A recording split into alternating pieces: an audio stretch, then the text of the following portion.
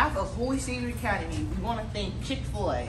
Thank you so much for this fundraiser that you've given our school for matching for all of our profits today. It goes to our school. We're at 184,000 fit minutes, and we're at 23,000, almost 23,000 dollars to a 30,000 goal, 30,000 dollar goal. So we really appreciate you, you know, contributing to that. So on behalf of Holy Savior Academy, thank you so much. Thank you very much for your support and we'll continue to give you guys the best customer service as much as we can.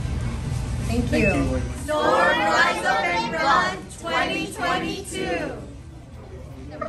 Thanks everybody for coming out here today for our event. Thanks to uh, this, now we have even more money for our Rise Up and Run project. So, yeah. Bye. Four times.